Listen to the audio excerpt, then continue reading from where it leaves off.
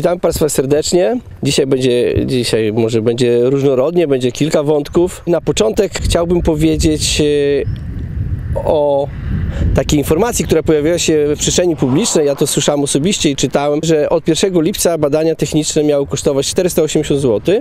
Dzisiaj czytałem e, sprostowanie ministerstwa, tak, e, nie wiem jakiego ministerstwa, ale ministerstwa, e, że, że to jest jakby nie, nieautoryzowana informacja i nie jest prawdziwa to informacja. I tak jak wcześniej byłem zwolennikiem tego, żeby wartość tych badań podnieść, bo ona rzeczywiście od 20 lat chyba bodajże już mówiliśmy, ta wartość nie zmieniła się i nie, nie wynikało to z inflacji, z różnych takich e, kosztów związanych z życiem. E, I byłem za tym. Natomiast e, w tej sytuacji, jak usłyszałem o tych 480 zł, to przyszło mi do głowy, że to przecież jest no grubo, tak? W domach czasami są dwa, trzy pojazdy, są jakieś motorowery, skutery, przyczepki i to wszystko podlega badaniom. To, to strasznie dużo pieniążków. No i, i przyszło mi do głowy, chociaż o tym już mówiono, bo to nie jest mój pomysł, że może by te ceny badań uwolnić, tak? Według mnie na jakość to nie powinno wpływać, bo jak do tej pory te badania były robione i ja rozumiem, że cena nie powodowała jakichś e, niedociągnięć w samym badaniu tych pojazdów, więc e, jakość badań musiała być zachowana, zresztą ona podlega nadzorowi. Więc czemu by nie uwolnić e, cen badań? Ktoś tutaj wspominał i dzisiaj nawet przed chwilą z kolegą rozmawiałem, że, że może by doszło do jakiejś zmowy cenowej. Myślę, że jest to niemożliwe, bo nie widziałem jeszcze, żeby 4-5 przedsiębiorców ustaliło jedną wersję dla siebie dobro. To, to nie działa jak w polskim cukrze, tak? E, więc e, myślę, że bez szans, że, że zawsze by się ktoś tam wyłamał i myślę, że cena by zmobilizowała klientów, bo to szybko się rozchodzi w przestrzeni publicznej i pojechałaby na tamtą stację. Widzicie Państwo, ja byłem zwolennikiem, jestem już przeciwnikiem ustalania ceny z góry. Czyli ja uważam, e, tak jak w przestrzeni biznesowej, silny się utrzyma. Nawet jeden e, z polityków, który jakiś czas temu powiedział, niewysoki, tak jak ja, że jeśli nie stać cię na ZUS, to zamknij działalność, tak? więc, więc uważam uwolnić tę cenę i, i zostawić nas w spokoju, nie regulować nas tymi cenami. Biznes sobie sam z tym poradzi. E, a tak, tego typu sytuacje, one, one, one nie, nie wyglądają uczciwie według mnie, bo to jest e, zmuszanie. No to nic innego zmuszanie, bo jeśli chodzi o jakość, nic e, za tym nie pójdzie innego. Po prostu więcej pieniążków i tyle. Drodzy Państwo, zmiana otoczenia, trochę będzie o ekologii, więc za mną piękne kwiaty. Łąka kwietna bym to może nawet nazwał. Jest, e, teraz po- pojawiły się w przestrzeni publicznej, czy, czy, czy w mediach, może sprawa bezpośrednio nie dotyczy nas Polaków, ale Kanady. Jest taka ustawa, ona chyba się nazywa C372, jak się nie mylę, jeszcze czegoś nie pomyliłem. I w niej jest e, mowa mm, o o promowaniu gazu, benzyny i innych rzeczy i, i jakby wskazywaniu na to, że one są lepszym rozwiązaniem i lepszą alternatywą niż inne środki czy alternatywy yy, paliwowe, czyli podejrzewam, że chodzi o energię z, z OZE, czyli fotowoltaika, prąd i inne tego typu sprawy. Więc w tej chwili w tamtym kraju za, za promowanie właśnie paliwa, czy, czy tych firm, które produkują, naklejek na pojazdach, które by to promowały, to, to jest e, bardzo poważna, e, bardzo poważna kara, bo to z tego co pamiętam jest 50 chyba tysięcy dolarów i do dwóch lat więzienia. I tak sobie pomyślałem, że u nas się o tym mówi dużo i dużo czerpiemy z zachodu i przyszedł taka myśl, że za, zaczynam się bardzo martwić, bo już w sumie to mało ma wspólnego z demokracją, żeby za, za określanie swoich poglądów e, aż takie głębokie kary. To jest e, bardzo szokujące według mnie, że, że właściwie my wszyscy, któ- u których żyła płynie paliwo i którzy, promuje, którzy promują, promujemy e, te wszystkie rajdy samochodowe, e, jakieś pokazy samolotowe, bo to też jest motoryzacja trochę powiązane według mnie, bo to chodzi na, na benzynie i spala i jeździ głośno i szybko. Różne sporty motocrossowe i inne. Być może nie będziemy mogli o tym mówić, bo u nas e, też szykuje się ustawa, która ma ograniczać e, troszeczkę wol, wolność wypowiedzi i, i ona jest e, przykryta taką nazwą o mowie nienawiści i w tej ustawie jest bardzo dużo, nie wiem, ciekawych albo kontrowersyjnych rzeczy, e, których już potem nie, jeśli on- jeśli uda je prze, przepchnąć, nie będziemy mogli mówić. Jako ciekawostka albo taka przerażająca e, wiadomość, nie? Co, co się czai za krzakami. Ta ustawa jakby dotyczy kwestii tego, że nie wolno będzie porównywać e, pokazywać słabości, załóżmy, elektryków, e, pokazywać e, słabości wszystkich rozwiązań w tej chwili proponowanych, ekologicznych i pokazywać wyższość pojazdów spalinowych nad nimi. To będzie zabronione. No, według mnie to jest nieuczciwe, bo, bo te słabości są i ich się po prostu nie da wyeliminować, przynajmniej nie na tym etapie rozwoju technologicznego. E, I, I według mnie ta, to jest nieuczciwa gra. No, no nie dotyczy ona w tej chwili nas, ale tamte przykłady o, stamtąd są czerpane do naszej przestrzeni publicznej i o tym się głośno mówi. No to mniej więcej tyle, czemu to by miało służyć. No to taki totalitarny reżim e, w pełnej demokracji odsłonia. Drodzy Państwo, i kolejny temacik. Drodzy Państwo, i teraz na tle śmierdziuchów i kopciuchów.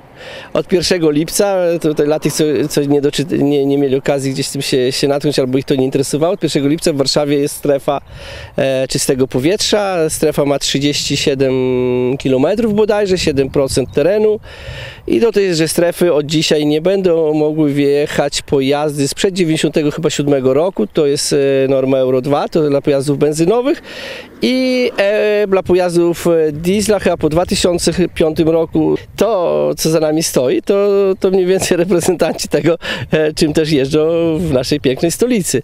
E, no i to jest jeden z pierwszych miast, chociaż e, z tego co słychać nie ostatnie miasto w Polsce, które się przymierza właśnie do tej inicjatywy społecznej, wykluczającej obywateli miasta. Co prawda ma to potrwać okres przejściowy chyba do kilku lat. Wyłączone z niego będą osoby niepełnosprawne i sytuacje konieczności wyższej, czyli dojazd do szpitala, tudzież do innych placówek, tam e, jakieś takie dzi, dzi, dziwne rzeczy.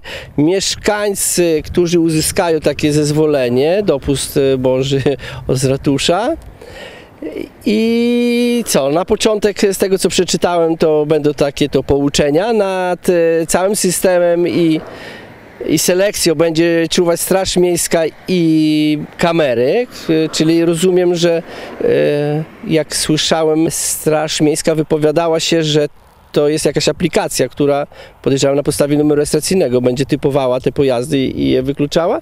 Na początek to będą pouczenia, potem to będzie 500 zł, a chyba od 28 roku w ogóle totalna klapa i, i zamknięcie właśnie dla swoich obywateli dojazdu do tego centrum. Czyli centrum nie dla swoich, nie dla pojazdów, to oczywiście w mojej ocenie. I to jest taka, taki malutki smaczek. No Warszawa idzie na, na mocno kolizyjną, według mnie, w sumie mam prawo, jestem Polakiem, tak to ocenić na kolizyjną. Taka konkluzja mi się nasuwa, że jak bodajże dwa lata temu, czy trzy, jak tam się wylewało tyle fekaliów do tej Wisły, to myślę, że w tamtym okresie tak zdewastowali te środowisko lokalne i, i nie tylko lokalne, bo ta rzeka dalej popłynęła sobie razem z tymi fekaliami, że przez i 200 lat te auta, które by tam jeździły, nie nasyfiłyby, za przeproszeniem, tyle, co ten, y, co ta czajka nasza, znaczy nasza, ich czajka, nasza czajka. Także to taki też jakiś smaczek taki z ostatniej chwili. Teraz e, 180 stopni i dla tych, którzy, którzy nie mają okazji albo jeszcze nie, nie, wiedzieli o tym, albo nie dowiedzieli się o tym, mamy w Wordzie kolejną zmianę. E, Na stanowisko dyrektora został powołany pan Jasionowski. E, Pan Jasionowski mm, wcześniej już pełnił funkcję wicedyrektora i przez krótki czas dyrektora, więc to osoba, która jakby zna ten kawałek motoryzacji i dziedzinę. E, Nasz nowy pan dyrektor to jest e, działacz PSL-u, tak? Mianowany przez pana marszałka, tak? e, Został na te stanowisko. Czy w drodze konkursu to, to nie, do, nie widziałem, nie doszukałem się, chyba konkursu na to stanowisko nie było. Rekomendacja e, tego stanowiska pochodzi właśnie od pana marszałka i nie podlega dyskusji. Dla motoryzacji Suwałki jest to szansa, bo tutaj pan e, dyrektor wywodzi się z tej koalicji 2050, tu z, z tego ugrupowania PSL-u. Na pewno ma siłę e, znaczy przybicia, dojścia do, do władz e, samorządowych i do reprezentowania miasta, zna problemy naszego miasta. A tutaj, drodzy Państwo, myślę w kontekście naszej budowy naszego toru, tak? E, Wracając jeszcze do tych wszystkich zmian w Wordzie, to to jest chyba trzecia zmiana od e, października tamtego roku, z czego żadna ze zmian, poza jednym drobnym tam szczegółem, ale nie będziemy w niego wchodzić, wynika nie z e, kompetencji czy ze złego prowadzenia e, tego stanowiska, tylko ze zmian politycznych, tak? Więc tu dla oglądu tej sytuacji. E, trzecia zmiana, tu by się nasuwało takie powiedzenie, spieszcie się kochać, tak szybko odchodzą. Mam nadzieję, że, że teraz ta, ta, ta właśnie te, te stanowisko zajmowane przez pana dyrektora, one, one, one przynajmniej te 3-4 lata jeszcze zostanie w takiej formie, w jakiej zostało powołane niedawno. Bo tak zawsze się działo, że zmieniała się władza, zmieniało się tam że stanowiska. Bardziej tylko mnie zmartwiła sytuacja, bo to, to nie chodzi o pana dyrektora, tylko te wszystkie zmiany, że, że one jakby troszeczkę obciążają finansowo nasz WORD, który on sam się rozlicza. Czyli tak, mamy trzecią zmianę, y, fa, facet nazwijmy, człowiek, pan dyrektor, zna temat, doświadczony, być może coś z tego dobrego wyniknie. Poczekajmy jeszcze na, na tego pana zastępcę, tak? Też będzie pewnie doświadczony i też będzie znał problemy miast, mieszkańców Suwałk i, i, i, Suwalczan, jeśli chodzi o motoryzację. Widziałem statystykę tu na stronie bodajże WORD-u naszego suwalskiego, raczej statystykę, wypowiedź dotyczącą statystyki i z niej wynikało, że analogicznie do 2022 roku mamy nieznaczną zwyżkę wypadków. I jakby tutaj e, łączy się to z ostatnią wypowiedzią naszego rajdowca e, emeryta, czyli pana Hołowczyca, który też oglądałem, który e, stwier- stwierdził, że, że jakby wysokość kar i te, ta agresja w stosunku do kierowców nie niesie za sobą żadnych zmian. No i tak mniej więcej by to e, w porównaniu z, to, z tą całą statystyką i z tym, co się dzieje, że ona się zwiększa, wcale te kary nie zmieniają postaci rzeczy. No i, i wychodzi problem tego, te, tej jakości szkoleń, no bo ja rozumiem, że to z, tego wynika ten problem, że, że jakby tak jak fachowcy wypowiadają się, że wszystkie egzaminy czy te szkolenia skupiają się tylko i wyłącznie na zdaniu egzaminu we właściwy sposób. I tam się realizuje jakieś cele, czyli tam, nie wiem, cofanie, zakręcanie, e, nie wiem, manewrowanie, ale nikt nie rozmawia o tym, jak się e, tej agresji pozbyć w, sam, w samochodzie, bo, bo jakby tutaj przedstawiona była sytuacja na przykład przez tego pana rajdowca w ten sposób, że, że, że my zamykając się w tym pojaździe jesteśmy sfrustrowani i zamknięci w tej swojej puszce za szybami z klimatyzacją w lato po prostu czekamy tylko na jakiekolwiek e, niedociągnięcie po stronie innych użytkowników, żeby rozładować tę swoją agresję w postaci e, palca kciuka wskazującego, tudzież innych gruźb e, wymachiwaniem nadgarstkiem i innymi częściami ciała. I potem ta frustracja, czyli brak e, tej równowagi psychicznej, e, spokoju, to, to rozprasza się, popełnia błędy, e, nadużywa za dużo pedału przyspieszenia. I tutaj on widzi, no z nim trzeba się zgodzić, bo to jest fachowiec, i on, tu właśnie widzi to dziurę, że, że te szkolenia e, powinny w swoim zakresie też e, mieć właśnie jak sobie radzić z tym stresem, jak go rozładować i w ogóle czego nie powinno się robić, tak? E, Był taki jakiś czas, e, ale to manda- mandaty przywróciły do porządku, że jak tam się władował na fotoradar, już wiedział, że nie wyhamuje, to pokazywał właśnie ten wskazujący palec, tak? Ale tam były chyba grubsze mandaty z tego tytułu za pokazanie tego palca. Co można by było zrobić? Jak dotrzeć, bo, bo sam też jestem kierowcą, i czasem też jestem sfrustrowany i pewnie więcej bym chciał zrobić niż można zrobić. y, Pewnie z tytułu wieku powstrzymuję się.